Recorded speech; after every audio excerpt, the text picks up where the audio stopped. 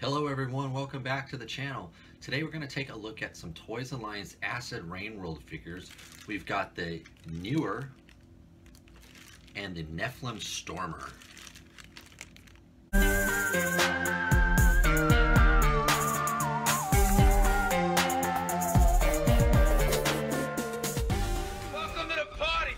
Okay, so we've got Neuer and Nephilim Stormer out of their plastic wrap. So let's quickly look at the packaging like we always do. You can see here that the Stormer is actually here behind Neuer in the in the uh, box art. Pretty cool, looks really nice. I'm guessing he must be the the sort of the foot soldier. He doesn't have a name, Neuer does, so Neuer's I'm guessing the commander. Looks like he's got a skull mask or skull helmet there. Um, this looks to use parts of the AMM soldiers that I did a uh, review on, but he also has these sort of chainsaw machetes that I think, uh, what's his name, uh, the Annex 2179 uh, guy had. So it looks like this guy's sort of a hodgepodge, and it looks like he is too. He looks like he is too. I'm, I'm recognizing these knee pads and some of the armor here. Let's take a look at the back really quick. Looks like he must have a, he does have a head underneath that mask or that helmet. He's got lots of accessories there, two pistols, the two machete uh, uh, chainsaws. Looks like he's got a big rifle, and I'm not sure what that is. Looks like it might be a backpack. He also comes with lots of weapons, two pistols, two grenades, an extra helmet, looks like a knife, and three rifles. So lots of accessories. This one does come with the plastic crate. Looks like it's in black. Usually when they come in this size box, they do not have that plastic crate, so I'm not expecting to see one in there. It's usually a double clamshell. So that's enough about the packaging. Let's get them open. Okay, and here is Neuer and Nephilim Stormer out of packaging. And I was correct, my assumption. There's a double clamshell inside of here no plastic crate. All right, so these guys are loaded with accessories and they do appear, now that I have them out and I'm, I'm playing with them, only had them out for a few minutes, they do appear to use most of the bucks from the AMM, the Mason, the Vestman Vanguard, and the Yellow Jacket Captain, which I did an army build video on. So these feel quite familiar. Obviously, there's a little bit of newness in here, and the paint job as well. Um, let's see. Let's start with Neuer. I love this head sculpt. This helmet. I guess it's a helmeted version of the skull. It looks awesome. I don't think I'm going to use the non-helmeted head with the beret. This thing looks so good.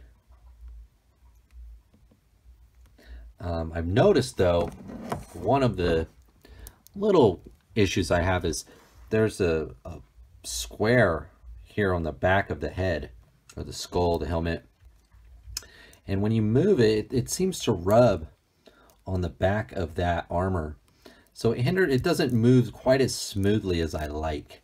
But the head can be, because you've got that Joy Toy, or I'm sorry, that Acid Rain World articulation, the head does sort of jut in and out.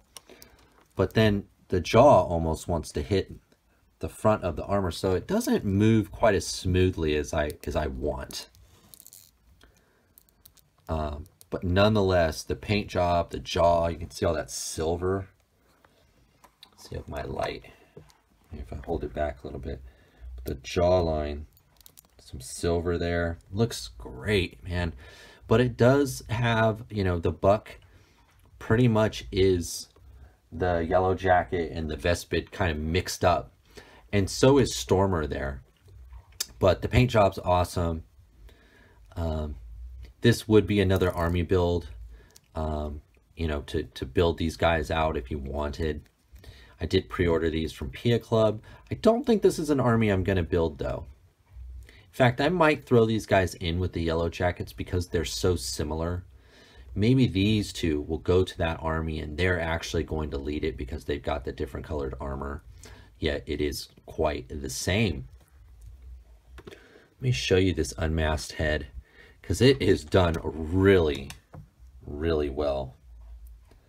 You can see that. I did notice though I've got a little bit of a paint splotch right there in front of the ear but behind the eye like a gray splatter of paint. Not a big deal. Not a big deal. But man, it, this thing is done really, really well. His hair sculpted. You can even see he's got a fade in his hair. You know, it's shaved. His head is shaved. It's got a nice fade. Really done well. As nice as this is, and it does come with the beret that fits on really well.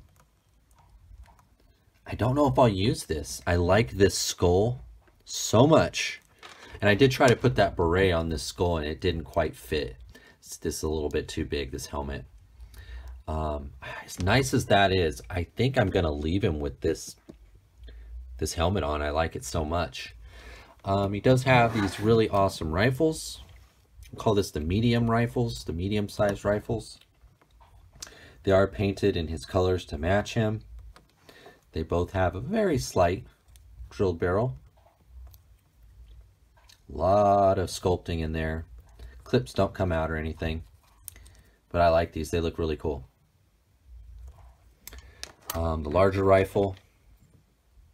Again, I believe this is the same one as the AMM guys. Because it does have the, uh, the knife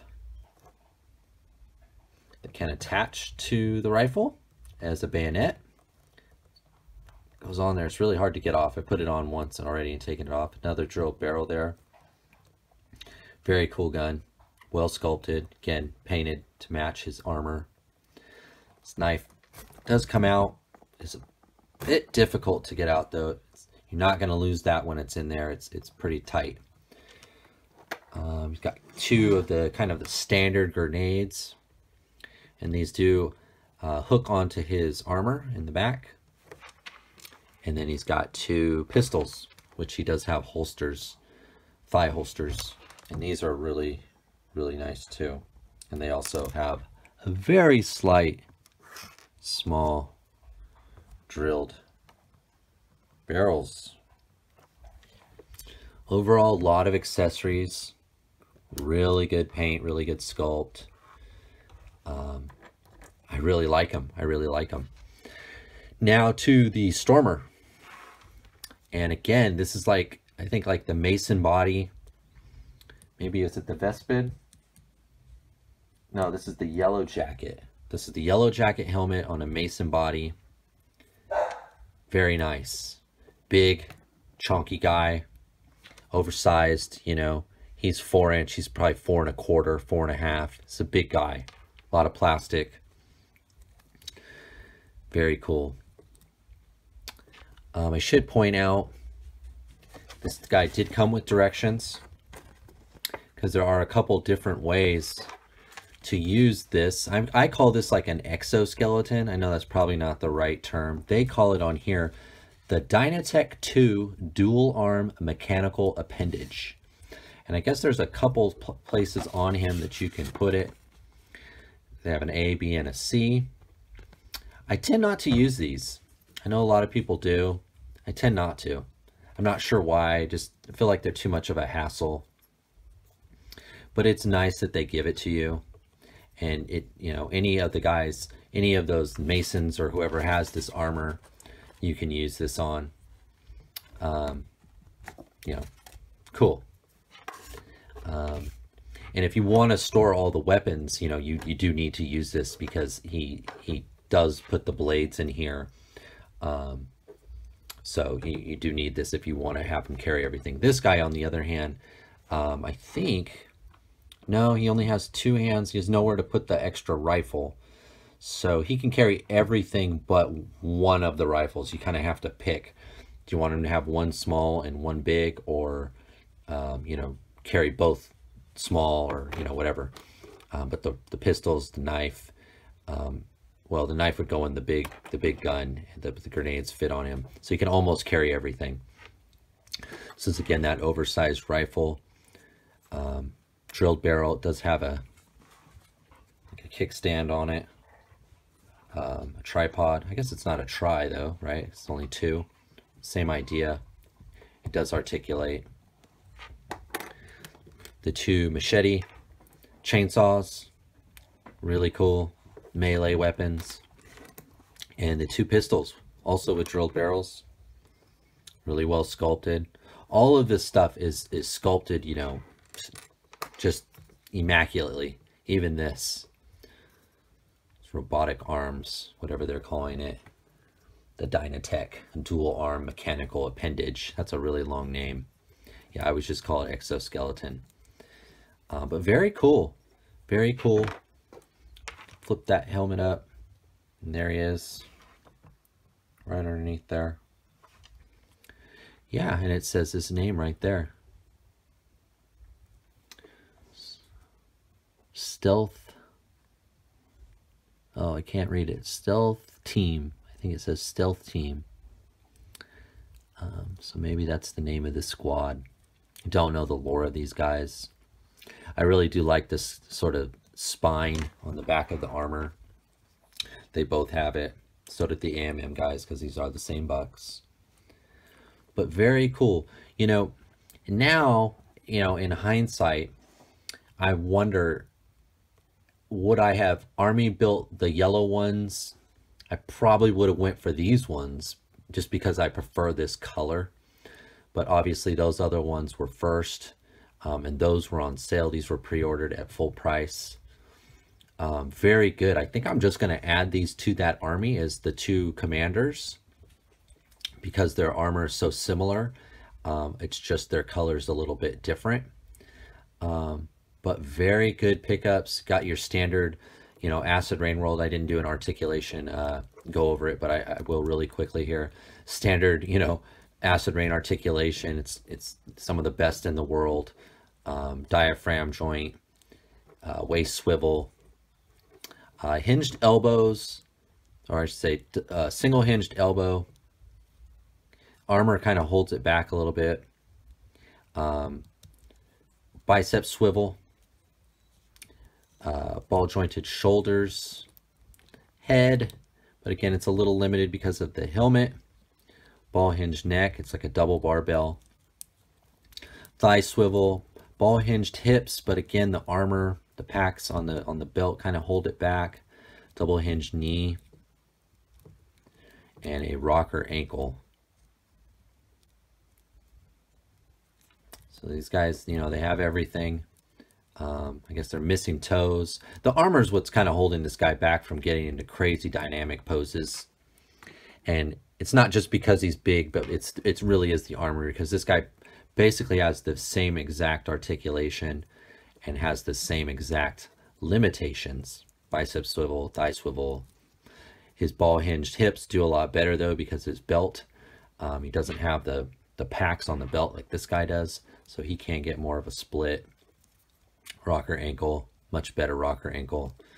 Um, because the armor, how it cuts off. This one, oh, that, no, that's about the same. It's about the same. Up and down yeah, so it's pretty much the same. Um, awesome. You know, it's this is this is almost at the the highest you can get here in terms of you know articulation, sculpt, paint. That's what Toys Alliance does. That's what Acid Rain is. Um, it's always great to find these guys when you can um, and get them on sale.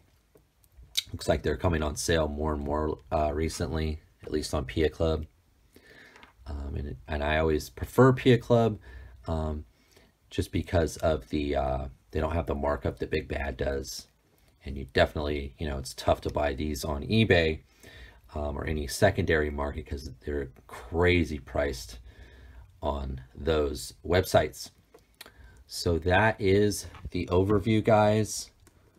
I can recommend these, but I would just say, you know, unless you definitely want this helmet and this head or this color, if you can get the the AMM guys on sale in yellow, it's it's pretty much the same thing. Maybe there's some weapons here that you prefer the color, you know, this awesome head. This almost looks, you know, uh, the more I'm looking at it, this looks like the lead character off of um, that movie, uh, Starship Trooper, that guy. Um, forgot his name now. Um, I really do like that movie. I do have it in my movie collection, but this that's almost who this looks like. I wonder if they not as much in the the box art, but figure wise, it looks like that guy. Even in profile. Maybe a little bit older version of that guy. Um, this thing is really, really good. Really good. All right, so that's the overview, guys. Let me know, are you going to pick these up? Have you already got them? Do you prefer this color over the yellow ones, the yellow jacket team? Um, let me know. I'm going to shoot just a few photos on the way out. Please remember to like, comment, and subscribe, and I'll see you next time. Bye.